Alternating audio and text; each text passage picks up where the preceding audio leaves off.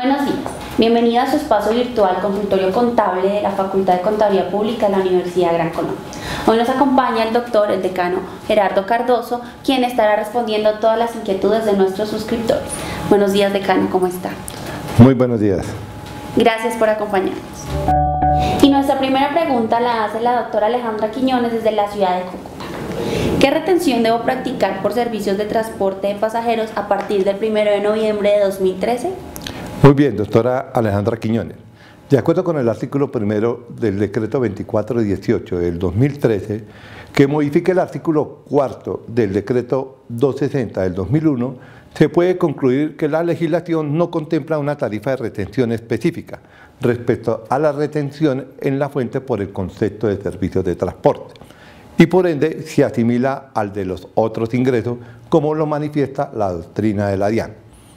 Por lo tanto, la tarifa de retención por este concepto pasa del 3.5% al 1.5% para los meses de noviembre y diciembre del año 2013. Y a partir del 1 de enero del 2014, la tarifa será el 2.5%. Y nuestra segunda pregunta la hace el ingeniero Camilo Pérez desde la ciudad de Cali.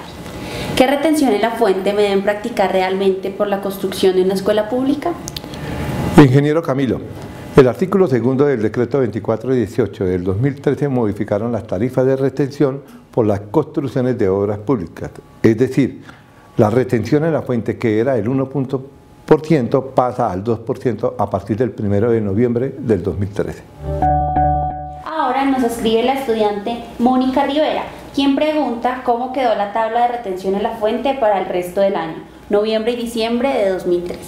Señorita Mónica, la tabla de retención se concluye que las modificaciones que trajo el decreto 2418 del 2013 son los siguientes. Primero, los servicios de transporte nacional de pasajeros terrestres, que era el 3.5%, queda a la tarifa del 1.5%. Arrendamiento de bienes inmuebles, del 3.5% pasa al 1.5%. Los servicios de hoteles y restaurantes de hospedaje del 3.5% queda al 1.5%. Los contratos de construcción y urbanización y en general construcción de obra material de bienes inmuebles, que era el 1%, queda a la tarifa del 2%. En cuanto a las compras y otros ingresos tributarios en general, del 3.5% pasa a la tarifa del 1.5%. Adquisición de bienes raíces para vivienda de habitación por los primeros 20.000 VT queda grabada a la tarifa del 1%. La adquisición de bienes raíces para vivienda de habitación sobre el exceso de los primeros 20.000 VT queda grabada a la tarifa del 2.5%. Ahora bien, para culminar, la adquisición de bienes raíces de uso diferente a vivienda de habitación queda grabada a la tarifa del 2.5%. Nuestra última pregunta la hace el doctor William Ríos desde la ciudad de Bogotá. Si el costo o gasto no es deducible en la renta, entonces su IVA no podrá ser tratado como IVA descontable. Doctor William, tendríamos que consultar el artículo 488 que es muy claro al establecer la condición de que el IVA de un costo o gasto solo podrá ser tratado como IVA descontable en las bimestres correspondientes, siempre y cuando el costo o gasto es deducible en el impuesto sobre la renta.